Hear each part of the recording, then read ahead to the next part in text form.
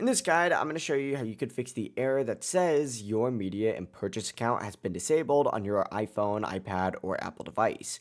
Before we do dive into this guide, make sure to like the video and subscribe to the channel with all notifications on. If it really does help the channel and lets us know that you want more content like this. We'd greatly appreciate it. And if at any point through this guide you do have any questions, just ask them down in the comment section below and we can help you out further. I'm going to be doing my best to reply to every single comment down there. But first things first, go ahead and open up your settings and tap on your Apple ID up at the very top.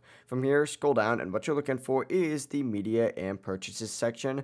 Open that up, and you're going to see a few different options appear. Go and tap View Account. It's going to take a sec to load, and you may need to sign in, but essentially select Manage Payments. And just make sure that you do have a valid payment method on file. If your card has expired, got replaced, or your billing address changed, that can trigger this exact error. Simply update your card details if needed. Also, make sure that you do verify that your country and region is set correctly. After that, go back to your Apple ID settings and scroll to the bottom and select sign out and then sign back in.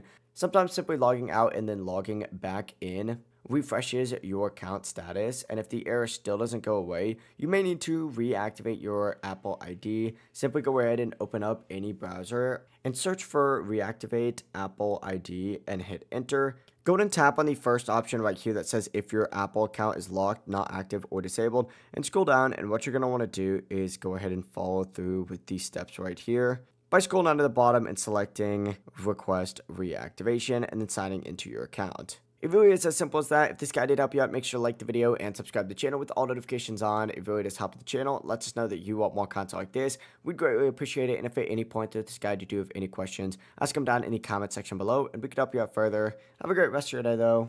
Peace.